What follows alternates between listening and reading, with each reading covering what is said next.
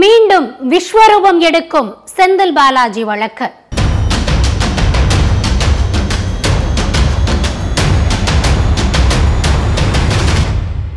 அதிமுக ஆட்சி காலத்துல போக்குவரத்து துறையில முறைகேடு நடந்திருக்கிறது தொடர்பா? அப்போ அதிமுகல போக்குவரத்து துறை அமைச்சராக இருந்த செந்தில் பாலாஜி மேல வழக்கு தொடரப்பட்டுச்சு. அந்த வழக்குல பல முறை செந்தில் பாலாஜிக்கு சம்மன் அனுப்பப்பட்டுச்சு. அந்த வழக்குல செந்தில் பாலாஜியை விசாரிக்க அனுப்பின சம்மனுக்கு சென்னை உயர்நீதிமன்றம் தரப்புல தடை விதிக்கப்பட்டு இடைக்கால தடையும் இருந்துச்சு. இந்த வழக்கை விசாரிச்ச உச்ச நீதிமன்றம் சென்னை உயர்நீதிமன்றம் வழங்கின இடைக்கால தடையை ரத்து செஞ்சும். மத்திய குற்றப்பிரிவு விசாரிக்கவும் தேவைப்பட்டா சிறப்பு புலனாய்வு குழு விசாரிக்கவும் உத்தரவிட்டிருக்காங்க. அதே மாதிரி அமலாக்கத்துறையும் விசாரணையை தொடரணும்னு சொல்லி இருக்கு உச்ச நீதிமன்றம் அடுத்தடுத்து விசாரிக்க சொல்லும் உச்ச நீதிமன்றம் செந்தில் பாலாஜி வழக்கு என்னவாகும்? நெருக்கும் விசாரணை என்ன செய்ய போகிறார் செந்தில் பாலாஜி? இதையெல்லாம் தான் இன்னைக்கு ஸ்பாட்லைட்ல பார்க்க போறோம்.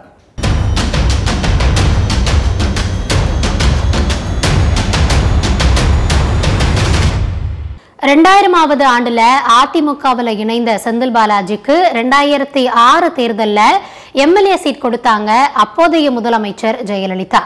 எதிர்கட்சியா வினோதமான போராட்டங்களை கையில் எடுத்ததுனால ஜெயலலிதா குட்போக்கில் இடம்பெற்றாரு செந்தில் பாலாஜி. ரெண்டாயிரத்தி பதினொன்னுலையும் சீட்டு வாங்கி ஜெயிச்சு போக்குவரத்து துறை அமைச்சரானாரு செந்தில் பாலாஜி. போக்குவரத்து துறைக்கு அமைச்சரானதுல இருந்து அந்த துறையில பல்வேறு முறைகேடு புகார்கள் எழுந்துச்சு. அதனால ரெண்டாயிரத்தி பதினஞ்சுல அமைச்சரவையை விட்டு ஜெயலலிதாவால நீக்கப்பட்டாரு செந்தில் பாலாஜி. ஜெயலலிதா மரணத்துக்கு அப்புறமா இபிஎஸ்க்கு எதிரான நிலைப்பாட்டில் இருந்தார் செந்தில் பாலாஜி. இந்த நிலையில ரெண்டாயிரத்தி பதினொன்னுல இருந்து பதினைந்துக்கு இடைப்பட்ட காலத்துல அரசு போக்குவரத்து துறையில நடத்துனர் மற்றும் ஓட்டுநர் வேலை வாங்கி தரதா எண்பத்தி ஒரு பேருக்கிட்ட நாற்பது கோடி ரூபாய் பணம் பெற்று மோசடி செஞ்சதா?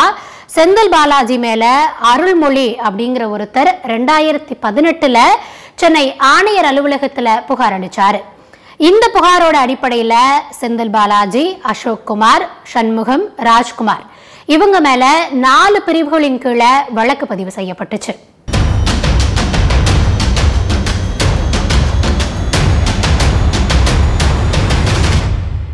வழக்கு விசாரணைய மத்திய குற்றப்பிரிவு போலீசார் கையில் எடுத்த நிலையில மோசடி நடைபெற்ற காலகட்டத்தில் வாங்கப்பட்ட சொத்து ஆவணங்கள் தங்க நகைகளோட ரசீதுகள் ஆபரணங்கள் வேலை வாங்கி தர்றதா சொல்லி பலரோட சுய விவரங்கள் நேர்காணலுக்கான அழைப்பு கடிதங்கள் பெற்ற பணம் குறித்த விவரங்களோட பட்டியல் கைப்பற்றப்பட்டதா மத்திய குற்றப்பிரிவு போலீசார் தரப்புல சொல்லப்பட்டுச்சு.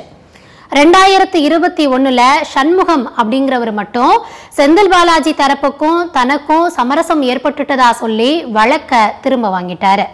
ரெண்டாயிரத்தி இருபத்தி ஒன்றில் இந்த வழக்க அமலாக்கத்துறை விசாரிக்க கையில் எடுத்தாங்க. அப்போவே செந்தில் பாலாஜி தரப்பில் ரெண்டாயிரத்தி பதினஞ்சில் நடந்ததாக சொல்லப்படுற புகாருக்கு எதுக்கு ரெண்டாயிரத்தி பதினெட்டில் வழக்கு பதிவு செய்யணும் ரெண்டாயிரத்தி பதினெட்டுல போடப்பட்ட எஃப்ஐஆர்ல முதல் நபரா செந்தில் பாலாஜி இல்லைன்னு வாதிடப்பட்டுச்சு. சென்னை உயர்நீதிமன்றம் அமலாக்கத்துறை அனுப்பின சம்மனை ரத்து செஞ்சும் உத்தரவிட்டாங்க. இந்த நிலையில இப்போ மத்திய குற்றப்பிரிவும் தேவைப்பட்டா சிறப்பு புலனாய்வு பிரிவும் செந்தில் பாலாஜி மீதான வழக்கை விசாரிக்கலாம்னு சொல்லப்பட்டிருக்கு. அதே மாதிரி அமலாக்கத்துறையும் செந்தில் பாலாஜி மீதான வழக்கு விசாரணையை தொடரலாம்னோ சென்னை உயர்நீதிமன்றம் வழங்கின சம்மன் மீதான தடை நீக்கப்பட்டதாகவும் சொல்லியிருக்காங்க உச்சநீதிமன்றம். இதனால செந்தில் பாலாஜி விசாரணை வளையத்துக்குள்ள வருவாருன்னு சொல்லப்படுது.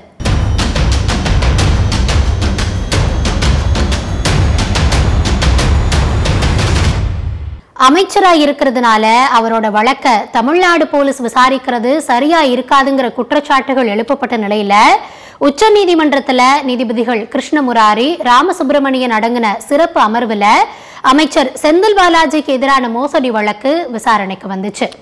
விசாரணைக்கு அப்புறமா அமைச்சர் செந்தில் பாலாஜிக்கு எதிராக முழுமையான விசாரணை நடத்த உச்ச நீதிமன்றம் உத்தரவிட்டிருக்கு. தேவைப்பட்டா சிறப்பு விசாரணை குழு அமைச்சு விசாரிக்கணும்னு சொல்லப்பட்டிருக்கு. அது மட்டும் இல்லாம ரெண்டு மாசத்துல இந்த வழக்குல அறிக்கை தாக்கல் செய்யணும்னு சொல்லியிருக்காங்க உச்சநீதிமன்றம்.